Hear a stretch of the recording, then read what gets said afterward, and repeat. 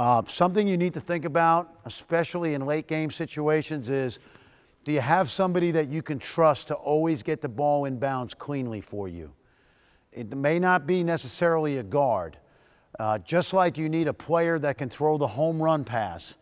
Have you worked on situations in practice where you have a trigger man that you feel extremely comfortable with that in late game situations they can make plays by getting the ball in bounds, not feeling panicked, and understanding the five second count?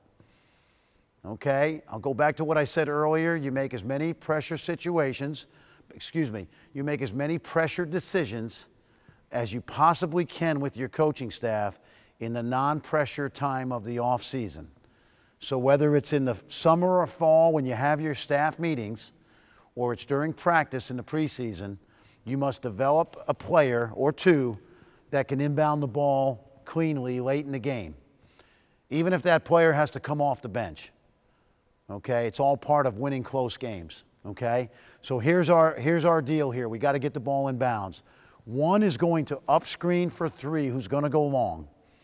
And there's nothing wrong sometimes in certain situations where the defense has brought everybody up, and it, and it may be a very close game, and, and you know that we caught him in a breakdown and three takes off, and my inbounder has the guts and the ability to throw the ball deep and maybe get a layup or get the ball away from the baseline here, and we win the game with one great decision by our trigger man. All right, so we're going to one for three screen, and as soon as that happens, we're going to uh, staggered screen with five and two. Okay, now we realize that one and two might be a switchable situation, and that's okay late in the game because as soon as two screens for one, five's going to stay still, two's going to come off his back to get open here. And now we must also understand whether or not the trigger man can run the baseline or not. That plays into our thought process here. Okay, so it may be that the defense has really uh, loaded up on this ball side, and simply by running to the other side out of bounds, we're able to easily make this pass. Okay?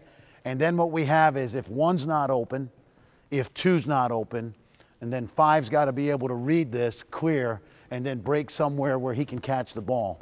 And if we hit here, we've now have one and two on each wing, maybe heading up the floor versus pressure. Okay? So that's all we really want to do here is get the ball in bounds, uh, take as much pressure off the baseline as we possibly can, but with the idea that we're going to be crisp, we're going to cut hard, we're going to screen hard, and we're going to make our free throws and win the game.